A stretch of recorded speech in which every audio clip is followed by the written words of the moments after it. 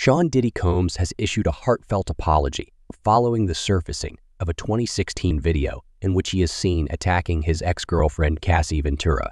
On Sunday morning, May 19, the 54-year-old entertainer shared an emotional video on Instagram addressing the incident. Reflecting on his past actions, Diddy stated, It's so difficult to reflect on the darkest times in your life, but sometimes you gotta do that. He openly admitted to hitting rock bottom at that time acknowledging that his behavior in the video was inexcusable. I was fecked up. I hit rock bottom, but I make no excuses. My behavior on that video is inexcusable. Diddy went on to take full responsibility for his actions, expressing his deep remorse. I take full responsibility for my actions in that video. I was disgusted then when I did it. I'm disgusted now.